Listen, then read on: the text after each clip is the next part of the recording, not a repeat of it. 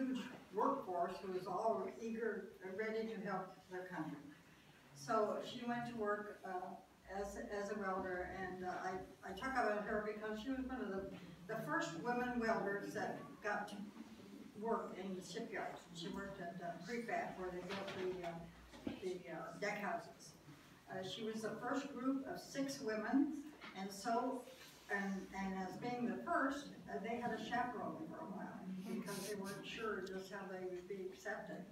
So, uh, but as more and more women learned how to weld, you know, they kind of, um, took over.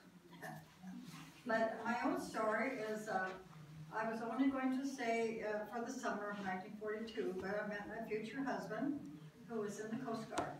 And he was stationed at the Coast Guard headquarters, which is a little island, uh, between Oakland and Alameda, and it still is the Coast Guard headquarters, and that's where he was stationed. So, uh, I decided that I was not gonna return to my family in Oregon, that I was gonna stay, stick around.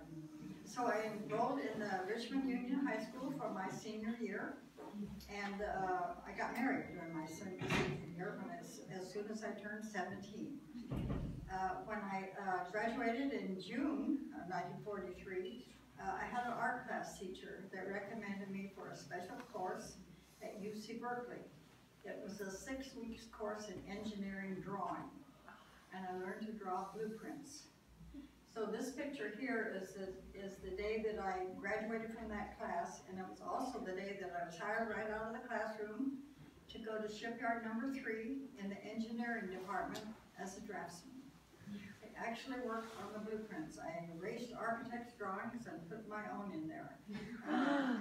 Uh, Shipyard number three troop transports, and the other, uh, uh, shipyards built cargo ships, but ours were built, uh, in, uh, in the basins. And, uh, they had built one ship when I arrived there, and, but they made changes as they, as they built it. So my job and the job of the other young people like myself and military wives, no men, uh, was to keep up with the changes that, that they made. And I only worked a year, but during that year, there was constant changes, better ways of building these, these ships. Uh, So, uh, we were kept busy. We did have, uh, master draftsmen. They had, they were in another room. Uh, they were the ones who had had a lot of schooling, and they did the real technical drawings and, uh, and, and had been deferred, uh, because of their knowledge. And, but they never looked down on us. We did the little stuff that would have taken up their time. And, uh, they treated us just as equals. And, and I like to say that, uh, uh, by the time that, uh, I had worked a year, I was expecting.